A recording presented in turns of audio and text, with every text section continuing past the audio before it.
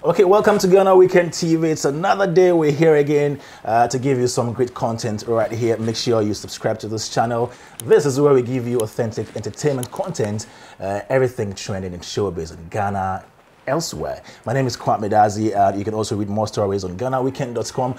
I'm so much honored to have somebody I've been like dying to see all this while. You know, I've been following her on social media, on IG, with all the videos. There was one video she was telling a story about some woman going somewhere, and I'm here, then pat. I say I was like, this woman, why? Okay, so I have in the studio Stephanie Benson. She's right here. Hello, Stephanie. Wow, you're here Hi, darling. I You know. Can you imagine? Every day I watch you on IG and I see the video that you put out there, and I'm like, you know, do you do you get sad? Do, do you- no, do you get sad? actually, I, have to, I, I don't. Um, I don't see any reason why to be sad. I mean, there isn't anything to be sad about. Mm-hmm. We all go through moments where something is like not going so well, but I don't revel in it. For me, it takes 10 seconds and I think, what can I do? Usually, when I feel like I'm going to a certain kind of mood, I will exercise. Or I'll go for a walk with music in my ear and I'll be singing along, and then I'm out of it.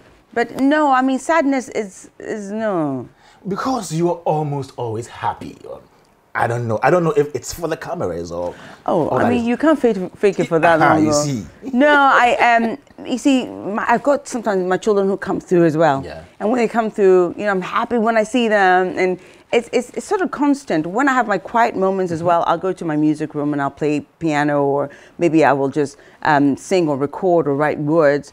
But no, I don't have moments where I'm thinking I'm irritated. Me, I don't talk to anybody. Mm-hmm. No, it doesn't last long. So how do you come by all those videos? Do you sit down to plan the No. the concept? You don't. at all. This is what I do. I have cameras. Um, what I started to do was I have um, cameras in the corner of most of the rooms. Okay. Kitchen. I don't have in the kids' sitting room because they, they wanted to kill me when I did that one. Because we go a little over the top. Yeah. So I took it from the sitting area and I put it in my sitting room with John. Uh-huh. I put it in the kitchen, up in the bedroom, in the landing, and John's office because I have two floors. Okay.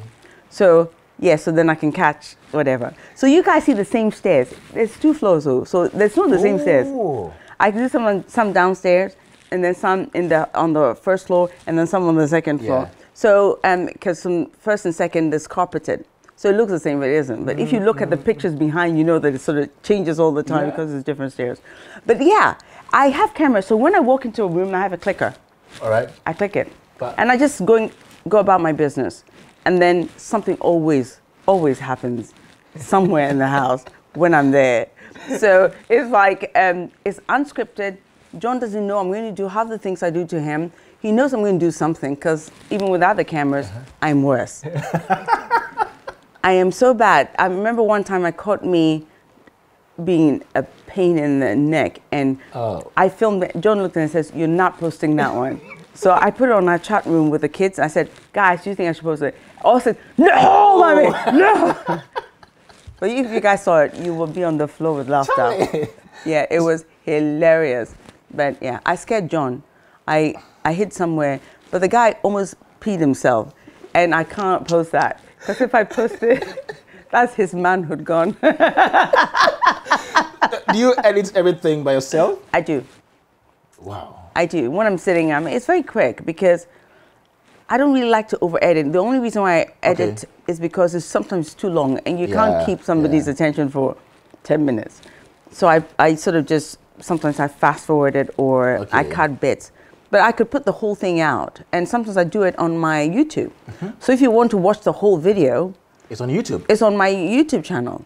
It's a Living with Stephanie Benson. Oh, okay. So I put that there. Um, and the edited version goes to, most people don't know, so they only watch the Instagram short versions.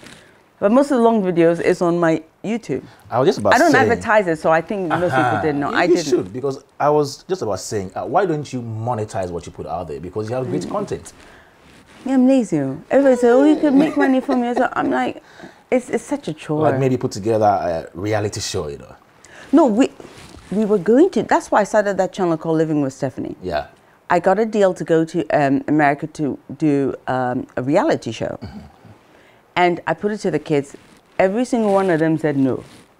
and then they they don't care about money.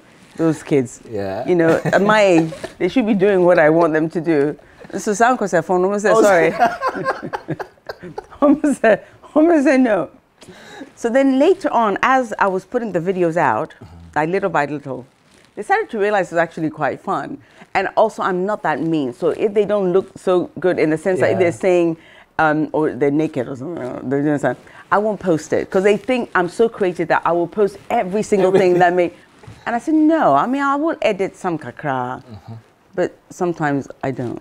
Yeah. Oh, we know. And, and I put it out and I go, oh my God, did I do that? I'm sorry. I'll, do you want me to take it down? And then by that time, they've forgotten about it. But so, yes, we were going to do Living with Stephanie, a, they, you know, like a reality. And then COVID hit, you know, and we oh. thought it would be finished quickly, and COVID really, really just kept going. oh, Charlie. So they said to move there, and I said, no, not in COVID. I'm not coming, and then leaving mm-hmm. my children mm-hmm. To, you know, to start anything. It's just not going to Yeah. happen.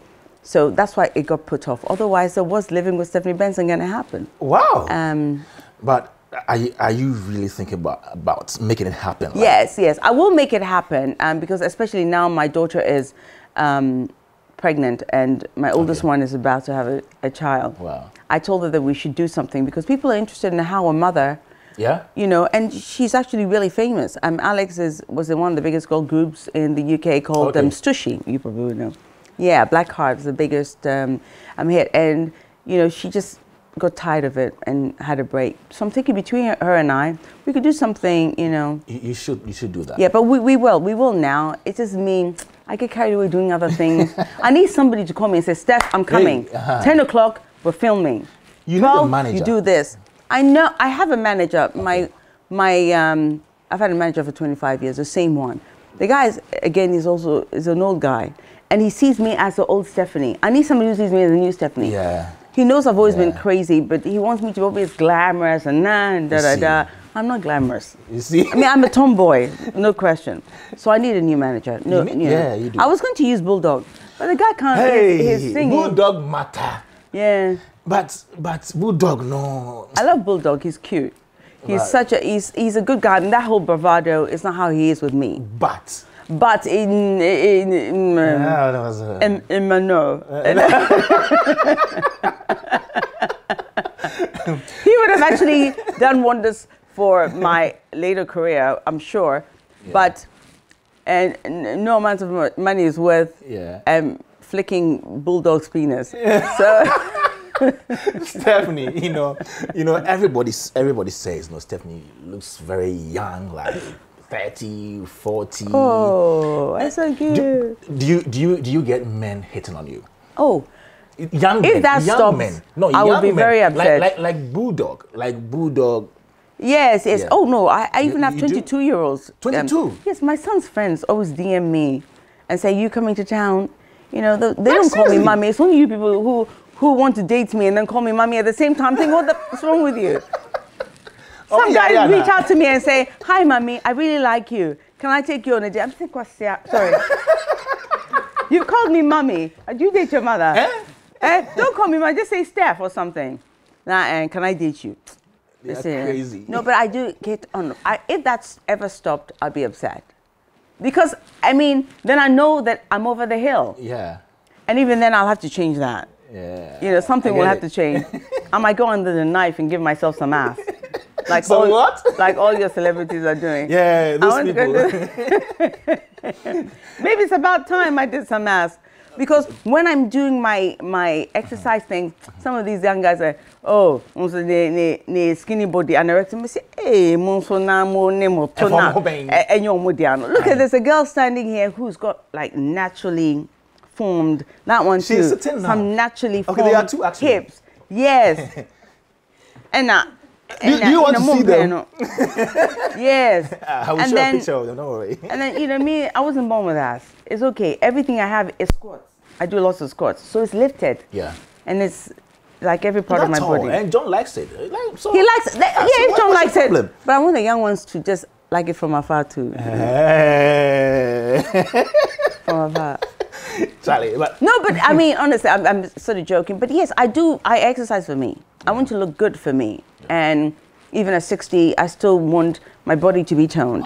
Um, I, I'm very, very critical of, of myself, not for anybody. I always have been. That's why I've been able to maintain um, my, my, well, my physique and whatnot.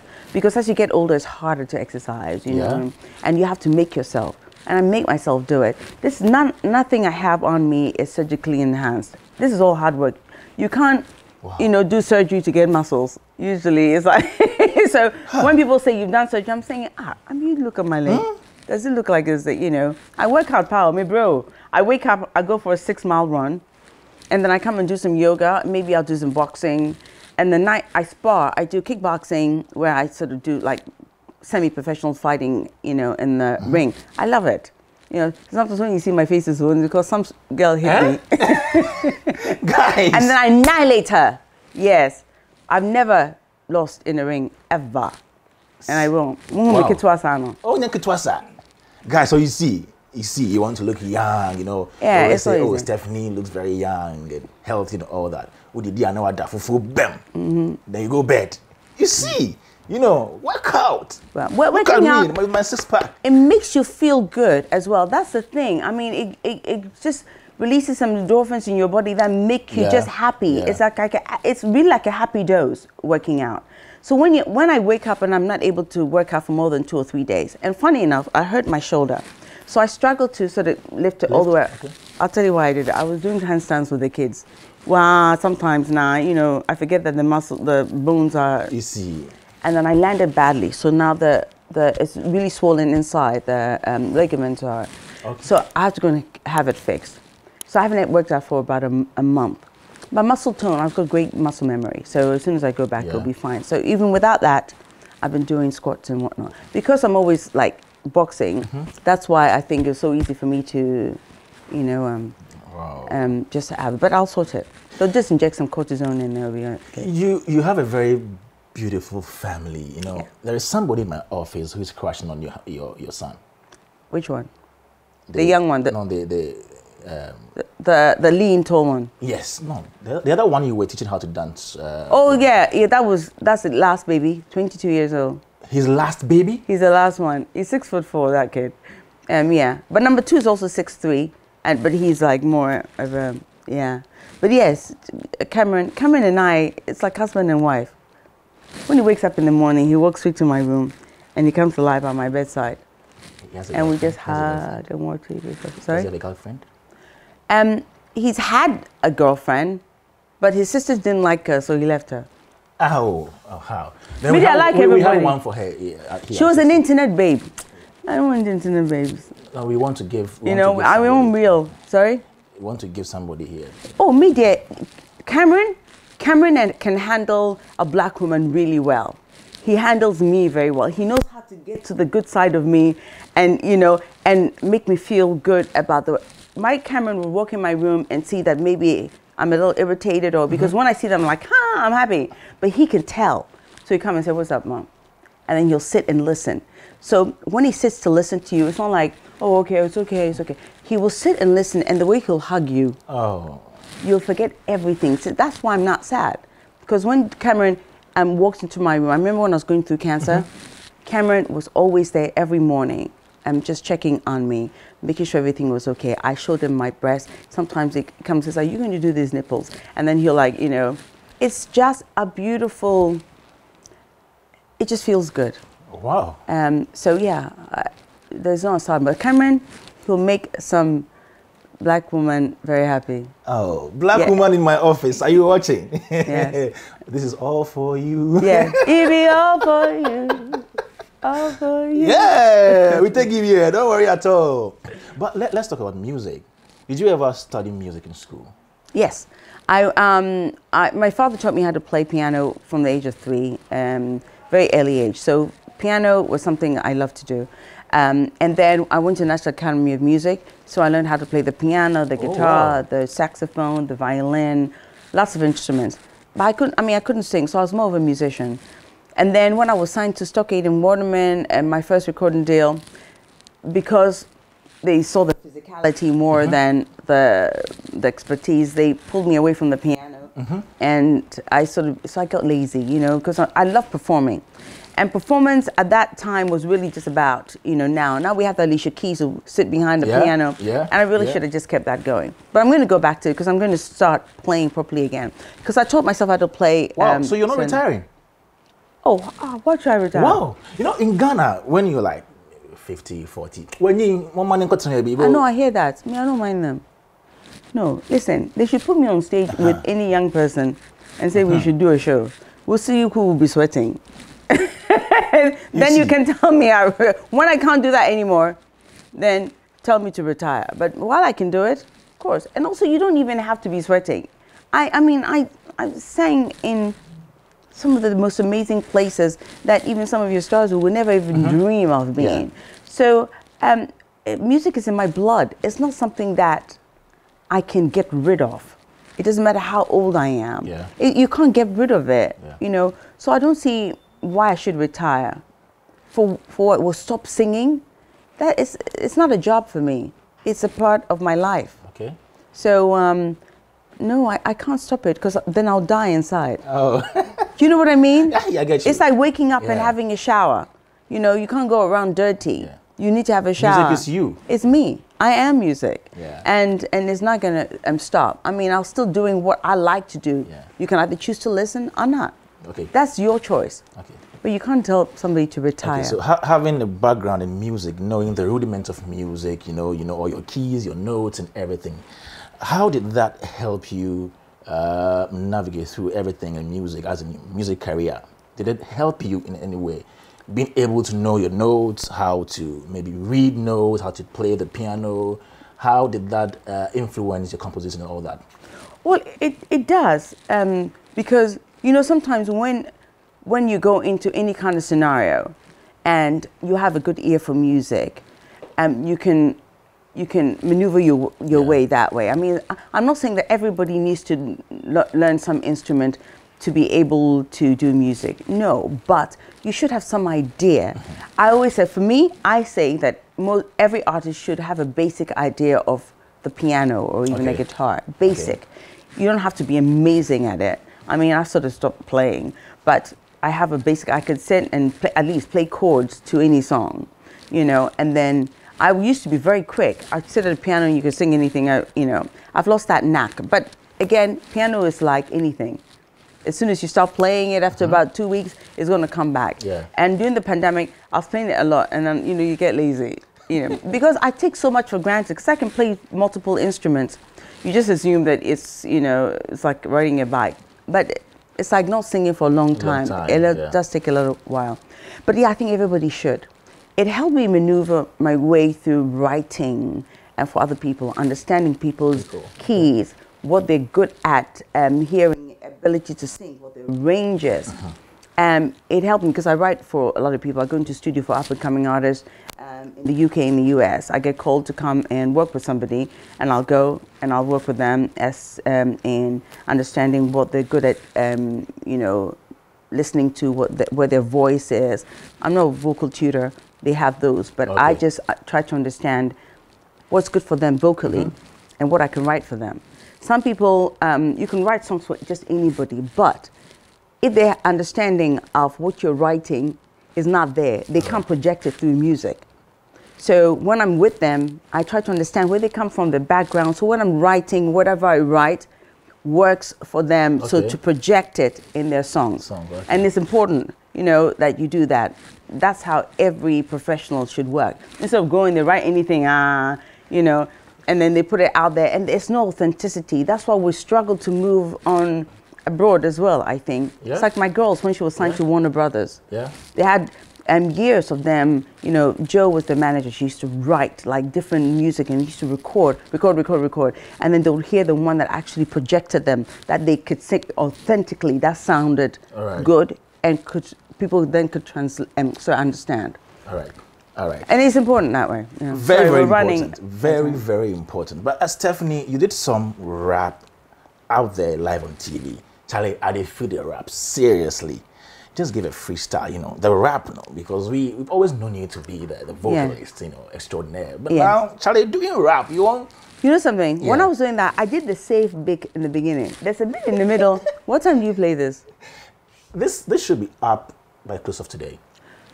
Oh, okay. Well, because if it's evening, then I'll give you the second part of the rap. Okay. But, because the second part of the rap is bad, but I'll give you the first bit. Okay, first one, let's go.